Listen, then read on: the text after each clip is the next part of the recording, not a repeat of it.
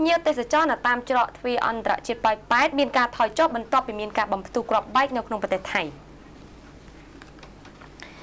បន្ទាប់ពីមានការផ្ទុះគ្រាប់បែកសម្រាប់មនុស្សជាច្រើនអ្នកនៅក្នុងប្រទេសថៃភ្ញៀវទេសចរដែលចូលមកទស្សនាកម្ពុជាតាមច្រកទ្វារអន្តរជាតិប៉ោយប៉ែតក៏ត្រូវសង្កេតឃើញថាមានការថយចុះផងដែរគឺចាប់ពី10ទៅ15%។ លោកចុងលឹមប្រធានមន្ទីរទេសចរខេត្តបន្ទាយមានជ័យបានឲ្យដឹងកាលពីថ្ងៃទី20សីហាថា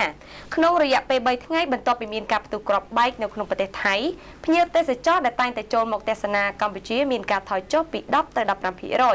ដោយថ្ងៃទី17ថយចុះ5.66%ថ្ងៃទី18ថយចុះពី13ទៅ50%ថ្ងៃទី19ថយចុះ19.79%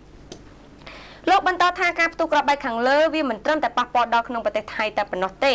តែវាក៏បានធ្វើឲ្យប៉ះពាល់ដល់ប្រទេសកម្ពុជាផងដែរដែលលើការចេញចូលរបស់ភ្ញៀវទេសចរហើយការថយចុះនៃភ្ញៀវទេសចរតាមច្រកទ្វារអន្តរជាតិប៉ោយប៉ែតខាងលើវាផ្ទុយពីការរំពឹងទុករបស់លោកដែលថានឹងមានការកើនឡើងនៃចំនួនភ្ញៀវទេសចរចាប់ពីខែកក្កដាមក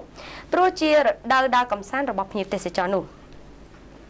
ស្របពេលការថយចុះនៃភ្ញៀវទេសចរលោកប្រធានមន្ត្រីទេសចរខេត្តបន្ទាយមានជ័យបានបញ្ជាក់បន្ថែមថាលោកកំពុងធ្វើការតាមដានបន្ថែមតែខណៈនេះលោកនៅពុំទាន់សន្និដ្ឋានបានទេថាវានឹងមានការកើនឡើងឬថយចុះនៃចំនួនភ្ញៀវទេសចរនៅច្រកទ្វារអន្តរជាតិប៉ៃប៉ែតនៅពេលខាងមុខ។